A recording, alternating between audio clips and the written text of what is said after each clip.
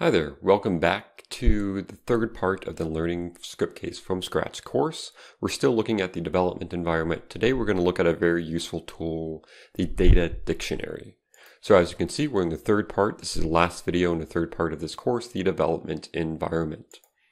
So this tool is very useful. So you have a database and you know about your application types, and you've got your database structure, but you realize it could get time consuming setting up all the field settings such as types, lengths, and messaging items like labels, etc. This can all be time consuming and really is not very fun. It's kind of it's kind of just busy work.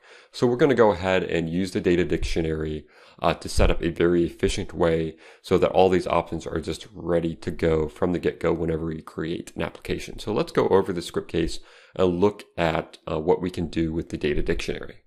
Okay, so as you can see, we've got our database structure here, and we need to be able to attach metadata with this. So different information about the field type for when you create a form or the, the label of that. So we've got our ID and name, but these aren't very nice on the user interface. These are kind of back-end type things. So we want to create uh, different labels for these and be able to do it automatically. So if we go to tools, then we can go uh, to data dictionary right here.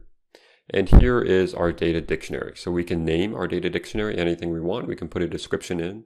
We can use a schema there if we want. We can define our connection, which is going to be our inventory connection. And then we can also associate the dictionary with that connection. That way it automatically is going to be connected with it and anything uh, using that connection is going to have all of our settings. It's found here, all of our tables. It's got our general information up there and there's all of our tables. And we can select which ones we want to add. We're going to select them all here. And then we go ahead and click next and it's going to add all of those to our data dictionary. So we've got the label for those fields. We can set those now. So category, genre, instrument. So I'm just going to put a capital letter at the beginning of all of these to make it look nice. Recordings and sheet music. So this is setting the label uh, for those tables in any applications we use. Then uh, we click next. We can generate the index for the language files. We'll look at those, but those are for multiple languages. Um, and it's going to control all those messaging and we can overwrite any of them that exist already. So then we can go ahead and click add on this. It's going to add all those tables to the data dictionary as you can see there, and there are all of our tables. So as you can see, um, under the label now, we've got a variable there in curly braces. So that's going to be the language um, for all those. And if we go to locales, application language, right, like so, um, we can see those. So it automatically created indexes in the languages in the languages um, area here. So as we wait for that to load here, and then under project messages over here, we can click on one of those tables. So there's an item there for every table, a folder there, and there's a language uh, table category right there. So we can set those to control those messaging. And then if we drill into one of these tables, we can see more information. So if we click edit on the category here, so go over and click the edit button there.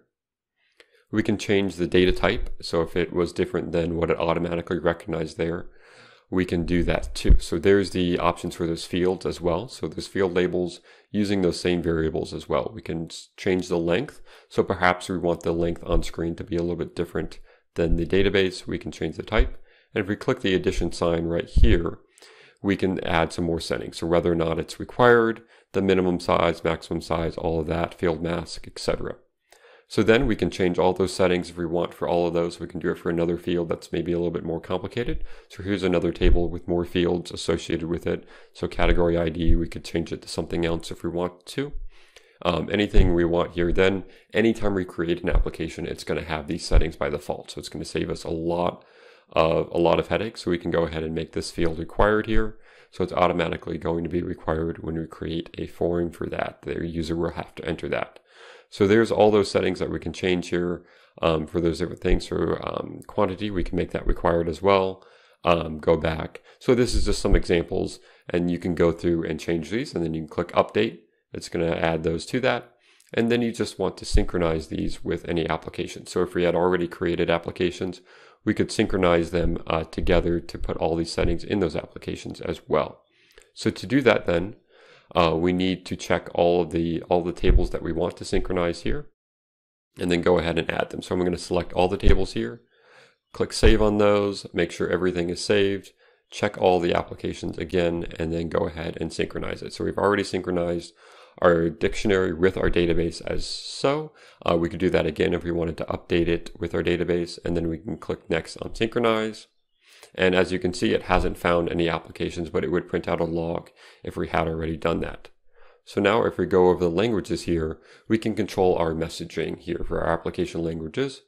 So um, we're going to control that, make that look a little bit nicer. So the ID field is going to be ID, the name field is going to be name with a capital M. And then we can click update here at the bottom um, to see how we want that to look with updating as well.